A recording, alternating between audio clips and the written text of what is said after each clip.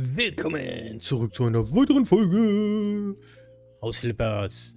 Wir sind im, ja, fast nur Gartengrundstück und leider Gottes würden wir hier gerade massiv miese machen. Naja, um die 2000. Ähm, die könnte ich sogar... Die kann ich nicht verschieben, die könnte ich nur verkaufen. Und das Problem ist, dass mir das überhaupt nicht gefällt. Ähm, wir haben am Gartenwettbewerb teilgenommen. Wir haben immer noch Wartezeit. Weil man nur alle 10 Minuten dran teilnehmen kann. Wir haben jetzt hier Blumen nochmal gepflanzt. Weil das Layout war okay. Aber uns haben massive Pfl viele Pflanzen gefallen. Wir haben auch amerikanisch eingereicht. Und da ist, stellt sich mir gerade die Frage noch, ob wir hier noch ein paar ja, Pflanzen hin bauen sollten oder nicht. Ich kenne natürlich hier so Kugelbaum oder Kugelbaum. Was, wie, was macht denn das? Ist ja nicht unbedingt groß. Äh, nee.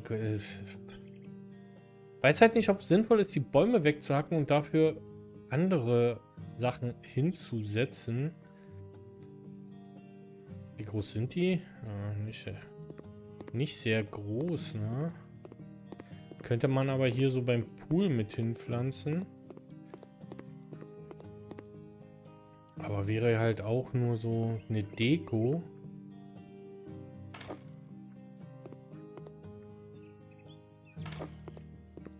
Oh, hier hab's noch eine andere. Na. Hey, wir pflanzen jetzt ja einfach mal so das ein oder andere hin. Einfach. Oh, das ist aber groß damit wir vielleicht noch ein paar Pünktchen bekommen. Ähm, weil wir machen derzeit 2000 Miese beim Verkauf. Äh, das ist doch nicht normal. Tropische Pflanzen. Hm. Und wir packen vorne noch so ein, zwei tropische Pflanzen mit hin. Wo der Hund rumeiert. Dann kann er sich daran verletzen und Aua schreien und daraus lernen. Nein, einfach nur, weil es ja schick aussieht. Ich finde diese schon ganz nice. Und die sollen halt leicht zu pflegen auch sein. Pflanzen. Wir könnten natürlich hier auch noch ein paar Bambusse hin. Niedriger Bambus, ja. Weil wir haben ja hier einen Koi-Teich. Jetzt hier hinter noch so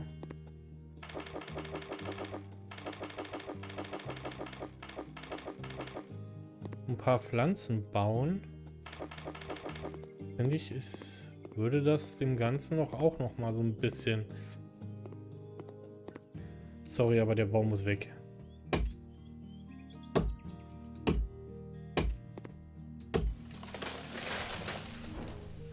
Ah, danke.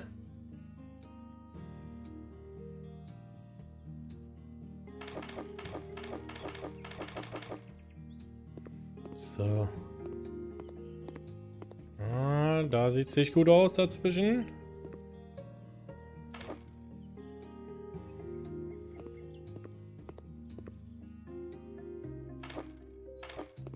Oh, besser. Besser. Hm. Hm. Oh, wir können wieder. Wir haben hier daran teilgenommen. Ausstattung. Auswahl der Pflanzen. Immer noch.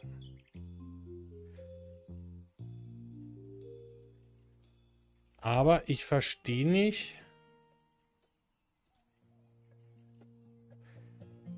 Ähm. Verstehe ich nicht. Komm, wir verkaufen jetzt die Hütte. Egal, scheiße. Scheibenkleister, egal. Geh zur Auktion. Das ist dann einfach so. Wir hatten vorhin 47.000. Und ich gehe mal davon aus, dass es nicht mehr sein wird. Auch wenn wir jetzt ein bisschen mehr investiert haben. Wir machen jetzt sogar 4.000 Miese.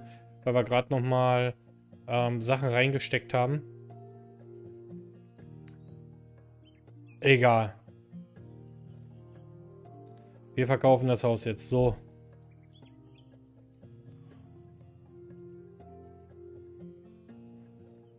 Wir dürfen also gar nicht... Wir müssen halt, wenn dann, billige Sachen reinballern, habe ich das Gefühl. Damit wir Häuser teuer verkaufen. Wir können ja mal... Wir haben ja das Sommerhaus gekauft. Wir haben das nur... Ähm... Na, sah schon. Wir haben das Sommerhaus ja nur aufgeräumt. Wir haben ja nichts weiter gemacht. Wir haben es nur sauber gemacht, aufgeräumt. Ich weiß gar nicht, ob wir die Scheiben aufgeräumt haben. Müssen wir gleich mal gucken. Aber... Ähm... 4000 Miese. Im Normalfall hätte ich das nicht verkauft. Sei so, wie es ist. Wir haben hier einfach nur Rasen gemäht, den das Unkraut vernichtet. Ähm. Jo. Und das war's eigentlich, ne? Innen drinnen noch aufgeräumt. Ich weiß nicht, sind die Scheiben alle sauber? Müssen wir mal kurz gucken. Aber es sieht ja danach aus, ne? Weil hier ist, wie gesagt, was wäre, wenn wir das jetzt so verkaufen? Wir haben wirklich, oder wir können ja mal gucken. Ähm, er wäre interessiert. Wo konnten wir das nachgucken? Hier, Käufer. Ähm, wer war, war denn? Du bist das hier. Genau ein Schlafzimmer. Okay, ein Badezimmer. Okay, wieso nur eins? Fragezeichen. Habe ich nicht gesagt, dass ich eine Sauna möchte? Das hättest du dir denken können. Es fehlt hier an etwas Privatsraum. Aha. Nicht einmal ein Fernseher, nicht gut. Ähm, sorry, wo ist denn die, sind denn die Lautsprecher? Ich brauche ein Doppelbett, weißt du, ich möchte es. Okay, wir können ja mal gucken. Ich habe keinen Platz für meine Zeitschriften. Ein Haus ohne Bad? Das stimmt doch was nicht. Ein Bad hast du doch nicht. Ach, mag ich, mag nicht?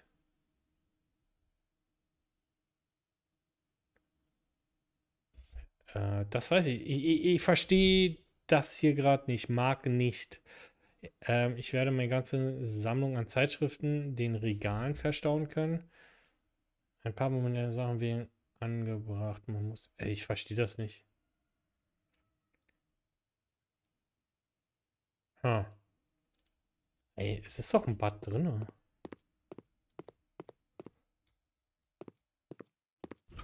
Hier ist ein Bad. Verstehe ich jetzt nicht. Ich will wissen, was passiert, wenn wir das jetzt verkaufen. Wir haben das für, ich weiß gar nicht, 71 oder so gekauft. Wir haben das für 71 gekauft. Die Höhe deines aktuellen Budgets. Deine Arbeitszeit. okay, zum Auktion. Wir haben es für 71 gekauft. 73. 74. Immer noch.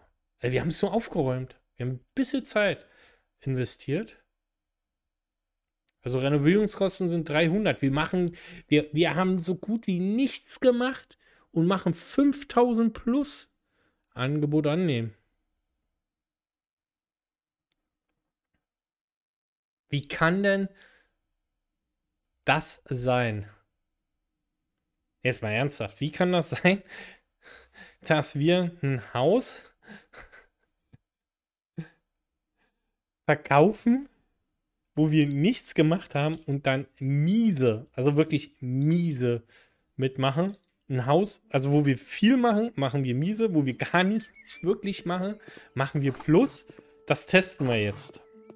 Wir kaufen uns noch ein Haus. Äh, nein. Growth zum Verkauf. Wir kaufen uns jetzt hier dieses ein fahrendes Haus. Das kaufen wir uns jetzt einfach. Wenn du im Büro bleiben möchtest, wechsel zu. Wir testen das. Wir räumen jetzt hier auf. Wir machen jetzt hier Butter bei der Fische. So gut wie nichts. Und verkaufen es dann wieder. Weil wenn wir damit Plus machen. Und wir haben gerade gut Plus gemacht, meiner Meinung nach.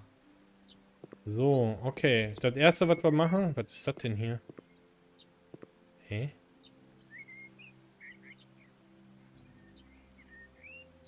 Was ist das?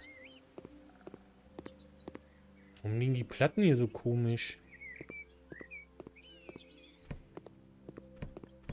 Erstmal Müll wegräumen.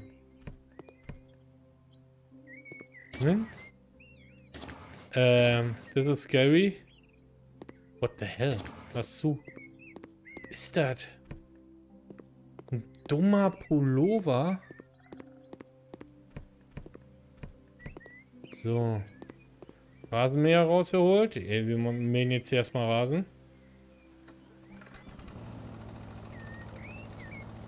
Ähm.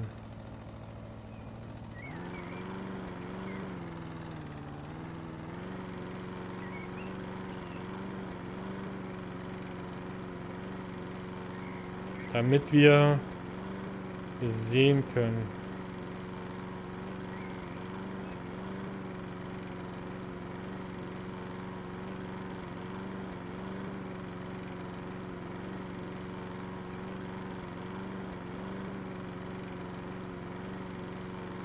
Na, na, na, na, na. Oh. Wenn die Graffiti gut wären, würde ich sie sogar in dem Wagen lassen.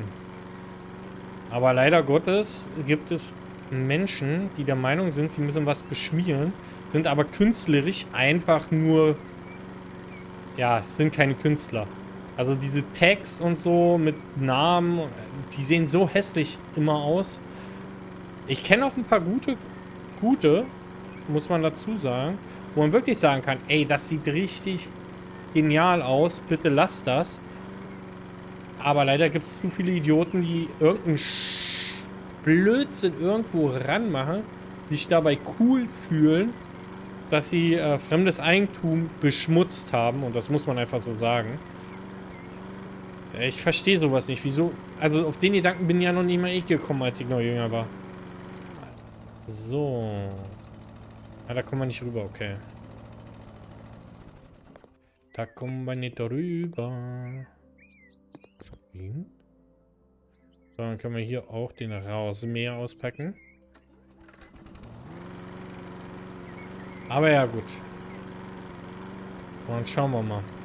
Also, also ich finde zum Beispiel so richtig wenn das wirklich anspruchsvoll sind, die Graffitis, ey, dann hat, glaube ich, kaum ein Mensch was dagegen, wenn die Welt etwas bunter ist.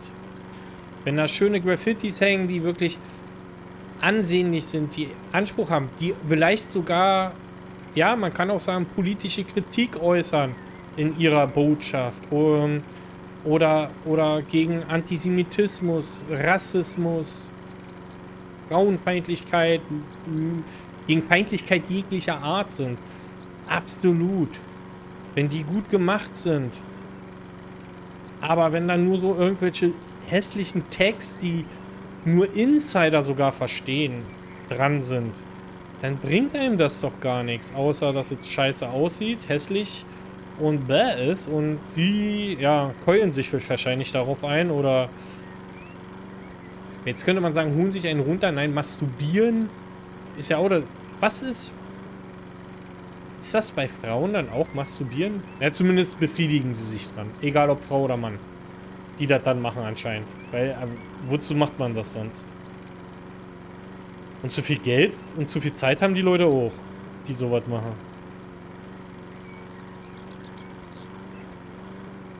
So. Okay, der Rasen ist gemäht. Jetzt wird der Zug gespritzt.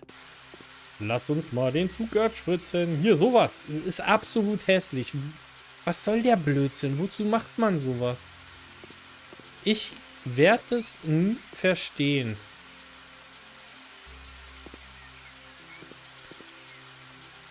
Warum man so eine Text zum Beispiel irgendwo anbringt. Und mir können die Leute nicht erzählen, das machen die, weil es schön aussieht. Das glaube ich beim besten Willen nicht. Das hier ist ein Tag. Wenn das ein Tag ist, sieht der schon wieder geil aus mit der Person hier. Wenn das ein Tag ist. Ja, war ein Tag. Aber den, das sieht doch geil aus. Das hier sieht, hat auf jeden Fall mehr als so ein Blödsinn hier mit dieser Schrift. Oder diese Schrift. Sieht genauso hässlich aus. Das ist, geht gar nicht. Die Figur an sich sieht ja gut aus, aber dieser Tag da, dieser Name, geht auch meiner Meinung nach nicht. Naja. Und das hier finde ich wieder... Kommt drauf an, wo das rangetaggt ist.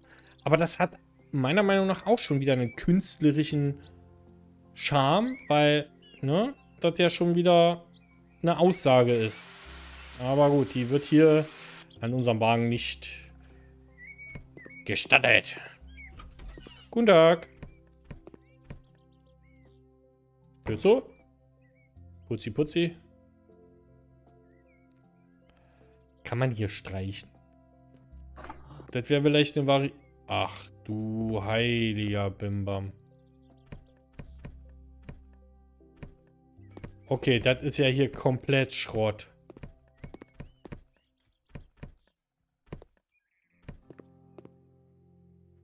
Das ist ja wirklich kompletter Schrott. Also wir wollen ja so wenig machen wie möglich. Aber wer kauft das?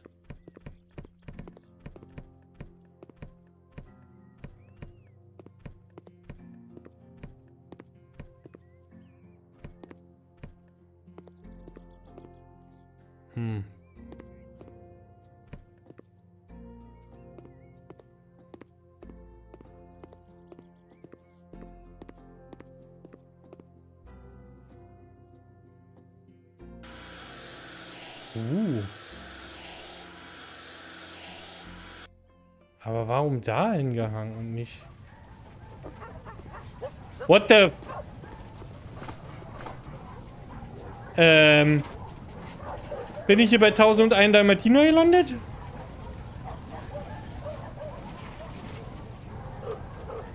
Hallo?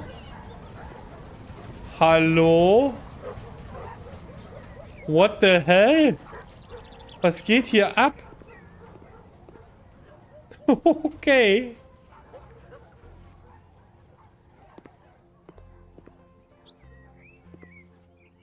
Da ist ein Hund zurückgeblieben.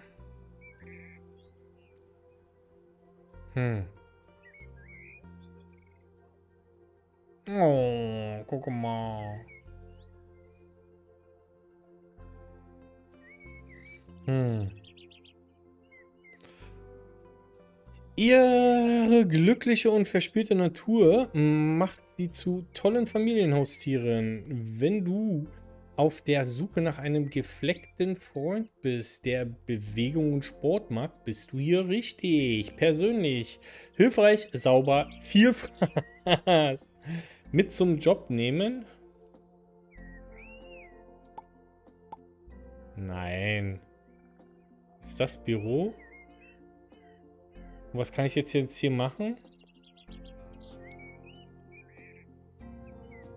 Wenn ich jetzt sage, mit zum Job nehmen. Schließen. Was kann ich mit dir machen, mein Guter? Tau ziehen? Uh. Na, willst du Tau ziehen? Oder auch nicht? Hm. Lässiges Tau ziehen? Der Hund ist zu nah. Oh, jawolla. Hui.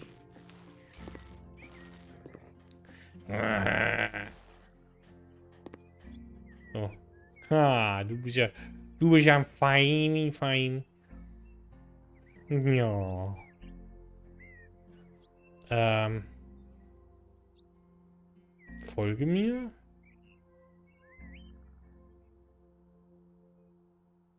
Bewegen.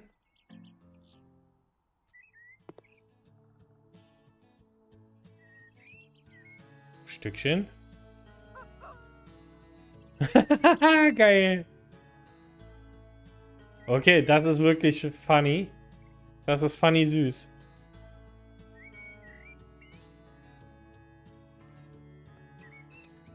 Ähm... Jawohl. Nee, komm, ohne, ohne. Odi, ja, wir lassen den Namen, oder?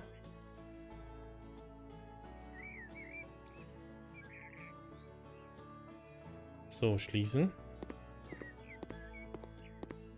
Kommt er jetzt mit? Ich glaube schon, ne? Oh, jetzt müssen wir hier jede Fenster... Das Fenster ist auf der anderen Seite dreckig. Die sind von außen dreckig. Ah. Na toll. Jetzt sollen wir hier jedes einzelne Fenster reinigen?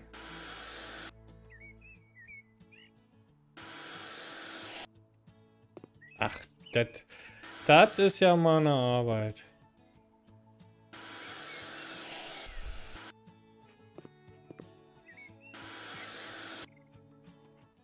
Besonders wenn ich das ansetze, ist schon die Hälfte fertig.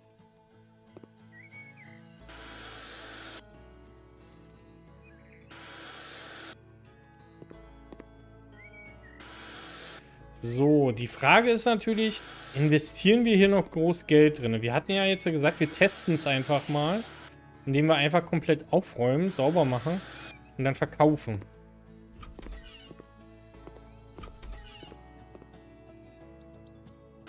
Und eigentlich bin ich immer noch da überzeugt von, dass das the way to go gerade ist. Weil Garten würde ich hier gar nicht machen. Man könnte drinnen halt ein Bett oder so aufstellen. Eine Wand könnte man ziehen, dass man so eine Art Küche hat. Mehrere sogar könnte man ziehen. Ja.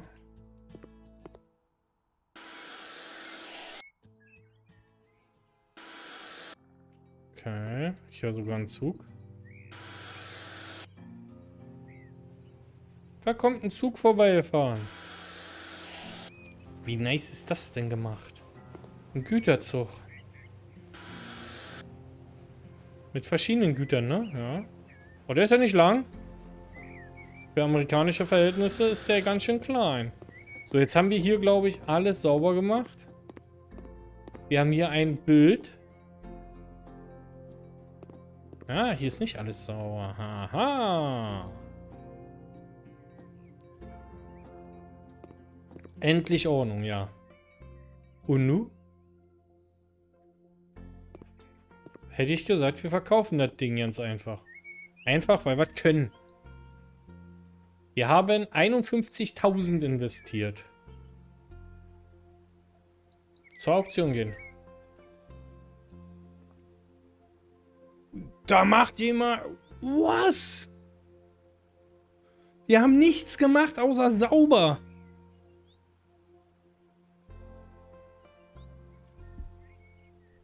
Ihr wollt mich doch veräppeln. Wir machen 14.000 Gewinn dafür, dass wir ein bisschen sauber gemacht haben.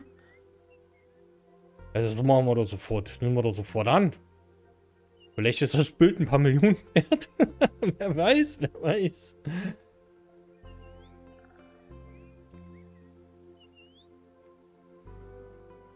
Das ist gerade lächerlich gewesen.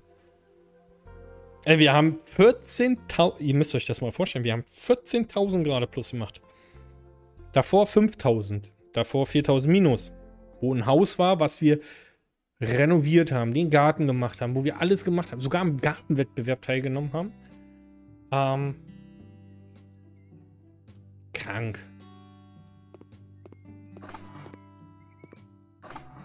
Was ist eigentlich, wenn wir... Ach nee, dem, bei dem können wir noch nicht dran teilnehmen. So, was haben wir denn noch für Häuser jetzt im Angebot? Ey, jetzt mal ernsthaft. Ähm, zum Verkauf stehen 40 weitere Häuser. Hier für 58.000 aus nach einer Überschwemmung. Was bedeutet von außen ein bisschen sauber machen, ein paar Möbel neue rein. Eventuell. Wir kaufen es mal. Wir wechseln mal hin. Es ist... Es, ja, okay, hier muss, all, hier muss unten alles gemacht werden. Heizung, Heizkörper. Das ist, glaube ich, dann schon wichtig, zumindest die Sauberkeit hinzubekommen. Ähm... Weiß halt nicht, ob das hier sauber geputzt oder gemalert werden muss. Das kann ich halt überhaupt nicht beurteilen. Okay. Warum stehen hier Möbel draußen?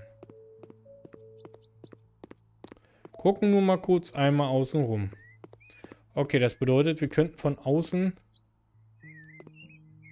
Du brauchst Gips, um dieses Loch... Was? Wir brauchen Gips? Wo kriegen wir den Gips her? Äh... Gips?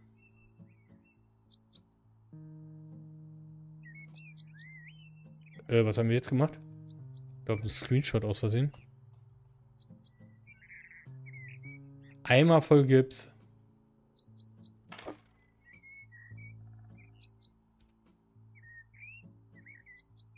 Nein.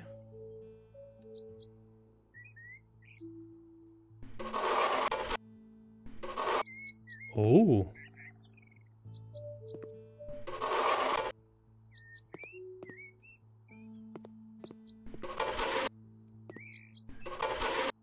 Hä?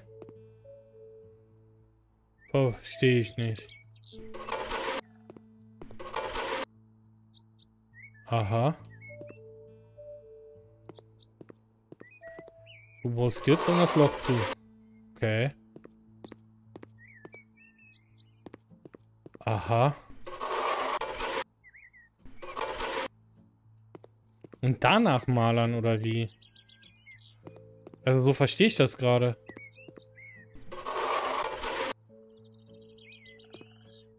Oder?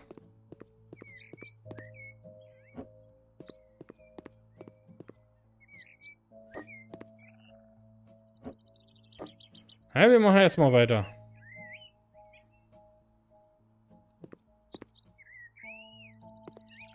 Hä?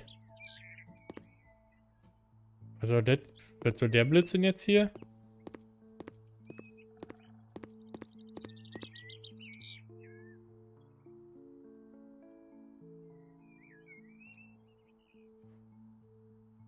Ach, das sind verschiedene. Ah.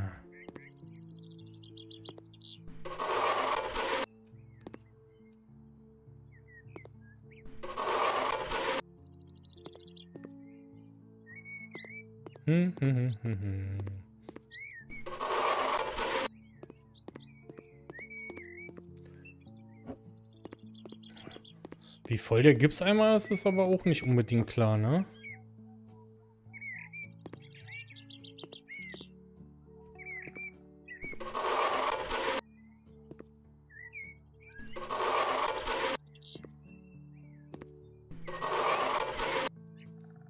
Ey, jetzt wissen wir endlich, was das mit dem Gipsen auf sich hat, weil Gips haben wir ja noch nie. Haben wir das vielleicht in dem ähm, verbrannten Haus falsch gemacht?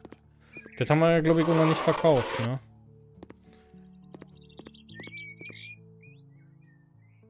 Ich glaube, das haben wir noch nicht verkauft.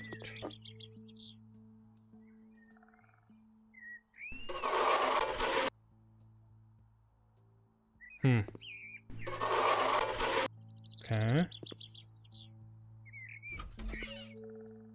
Brauchen wir hier überall... Äh, wir brauchen hier überall Gips. Uiuiuiui.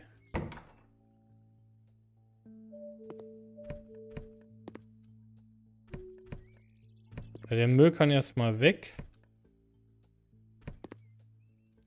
Ich müsste mal hier alles wegpacken, ne? So wie das aussieht.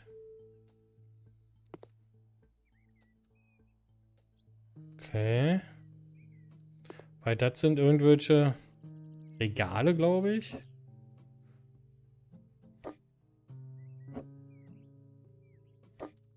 Also der Test ist, dass wir dieses Haus gleich fertig gipsen und verkaufen. Mit dem, was hier drin steht. Und dann schauen wir mal. Also ich würde natürlich eine Heizung anbringen wollen, ja. Aber und dann würde ich einfach schauen, was das Haus uns an Geld bringt. Aber das machen wir beim nächsten Mal. Daher danke fürs Zusehen und Tschüss.